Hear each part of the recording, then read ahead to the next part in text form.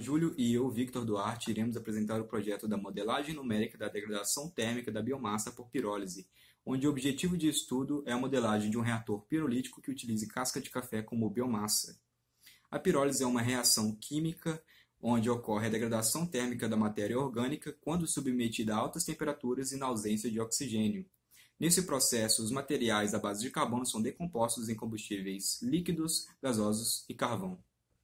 Para obtenção dos resultados, será utilizado o RMG, software livre do MIT, para que possamos gerar mecanismos da reação devido à pirólise da casca de café. Esse mesmo mecanismo será utilizado para criar um modelo de reator pirolítico no software Cantera. Os resultados da pesquisa serão importantes para viabilizar o uso da casca de café para obter um produto como bioóleo, que pode ser utilizado como fonte de combustível alternativa. E posteriormente pretendemos também utilizar o bagaço da cana-de-açúcar.